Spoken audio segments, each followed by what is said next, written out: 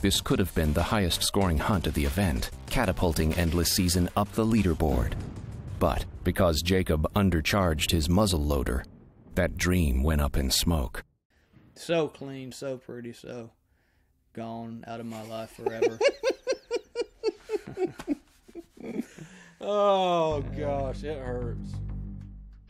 Instead of his normal charge of three pellets, Jacob mistakenly only loaded two. Two days ago, Keeping It Wild had a close encounter with one of the bucks that makes Campbell, Illinois whitetails legendary. With perfect filming light and completely unaware of their presence, this buck stayed just out of bow range. But now their range has extended significantly with the use of a shotgun.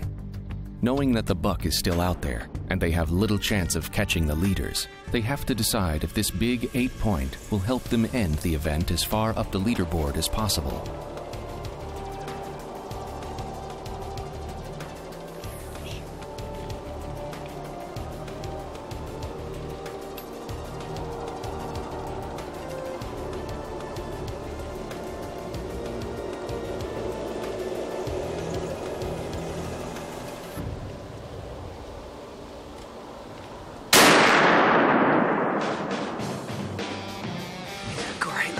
Network.